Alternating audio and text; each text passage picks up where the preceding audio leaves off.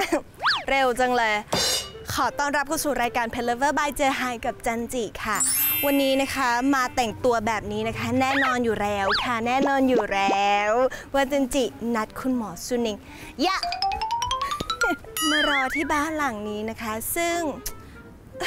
เปิดดูโรเล็กก่อนไหมคุณหมอยังไม่มา งั้นเดี๋ยวจันจิไปรอข้างในก่อนดีกว่าค่ะ ตามมาค่ะ เชิญด้านในค่ะเชิญด้านในพุงนำนม เชิญด้านในค่ะเชิญอะบาบาบาบา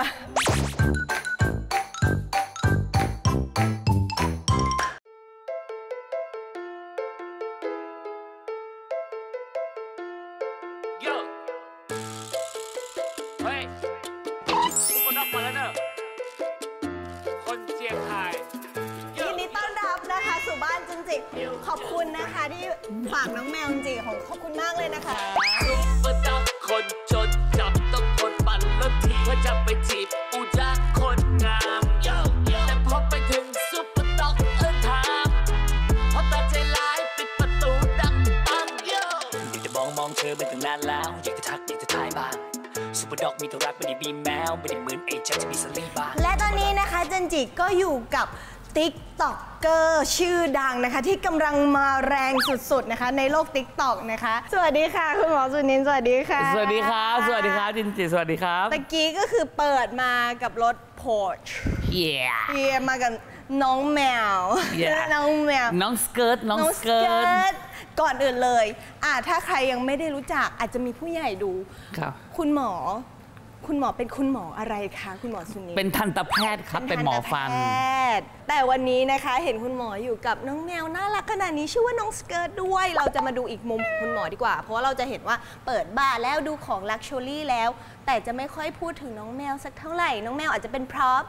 ใช่ไปวิ่งมาแต่วันนี้คุณหมอต้องโชว์ความมุ้งมิ้งแน่นอนเรานจะอนไม่เราจะไม่ yo yo ๆแล้วเราจะแบบให้ให้อย่าง นี้นะคะคุณหมอ แน่นอนสิครับ พูดถึงเจ้าสเกิร์ตดีกว่าค่ะทำไมถึงชื่อสเกิร์ต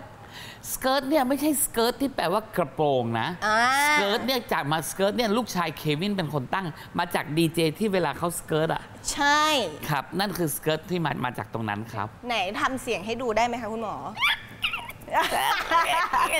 มันจะแบบสเกิร์ตสเกิร์ตอะไรอย่างเงี้ย Skirt เวลาแบบเพลงฮิปฮอปฮิปฮอปว่ะเพลงฮิปฮอปจะมีคำว่า skrrt skrrt skrrt อย่างนี้ก็เลยเป็นชื่อใช่ของแมว ซึ่งจริง ๆ แล้วไม่ใช่น้องแมวของคุณหมอด้วย แต่เป็นของลูกชายถูกต้องครับ ค่ะ ตอนแรกลูกชายเรียนอยู่ที่มหาลัยรังสิต ค่ะ เขาเรียนทันตแพทย์แล้วก็ทีหลังเขาบอกว่าเขาไม่ชอบ แล้วก็แมวแมวเนี่ยเอ่อสเกิร์ตก็อยู่กับเขาตลอดที่อพาร์ตเมนต์เขาแล้วเขาเปลี่ยนใจว่าเขาอยากจะไปเรียนบริหารธุรกิจที่สวิตเซอร์แลนด์อ่าคือไม่ได้ชอบเรียน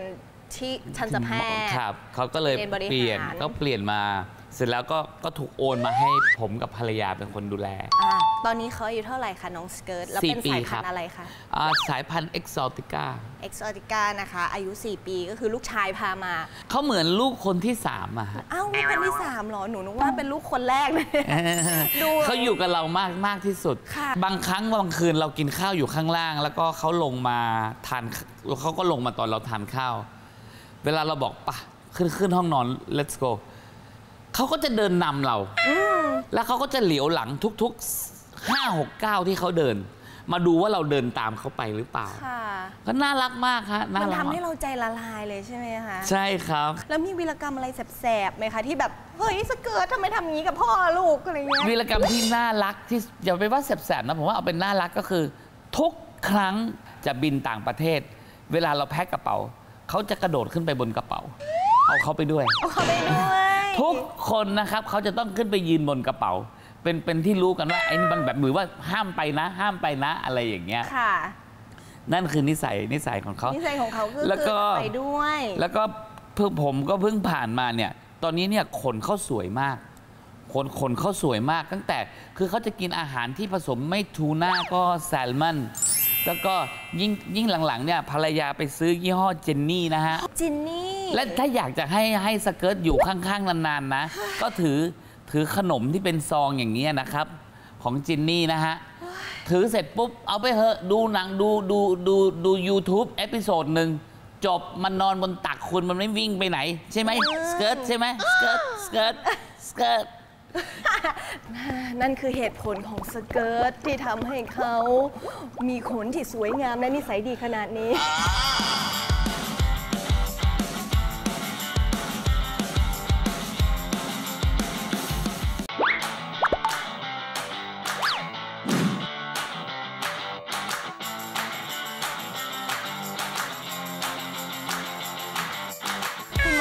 พูดเสียงสองกับเจ้าสเกิร์ตไหมคะ ไม่มีเหรอคะไม่หนูได้ยินสเกิร์ตแล้วเก๋ไม่ไม่มีเลยเหรอไม่เลยไม่มีเลยครับเหรอคะไม่มีเลยครับทำไมอะ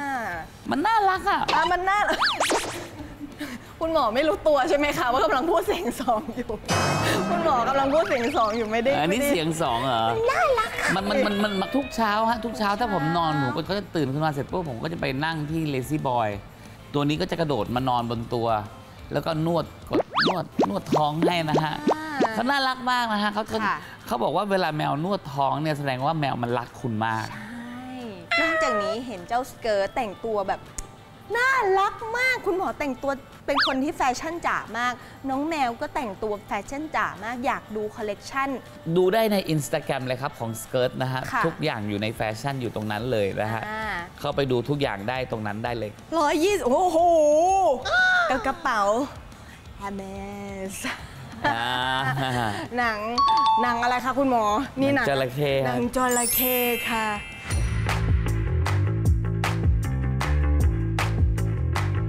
นอกจากนี้นะคะที่วางอยู่ตะกี้ตะกี้จริงๆไม่ได้ไม่ได้ดูแบบเฮ้ย Supreme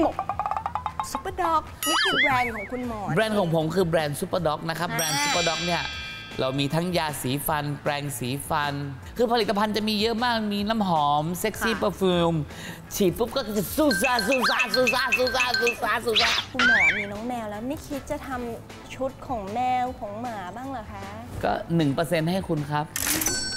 ได้ไอเดียเรียบร้อยแล้วครับ ตอนนี้เดี๋ยวแป๊บเดียวออกจากนี้ปุ๊บสั่งผลิตทันทีเลยผตเลย Super Dog เลย Super Dog เล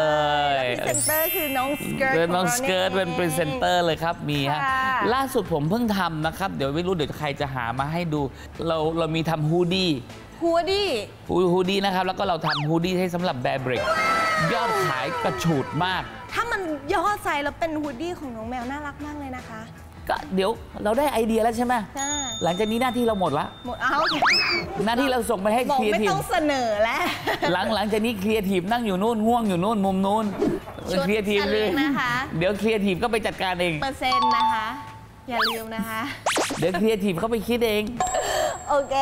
อะพูดถึงแบรนด์ซูเปอร์ด็อกเรียบร้อยแล้วอยากให้คุณหมอฝากอะไรเกี่ยวกับสัตว์เลี้ยงหน่อย พูดถึงสัตว์เลี้ยงมันทำให้เราใจเย็น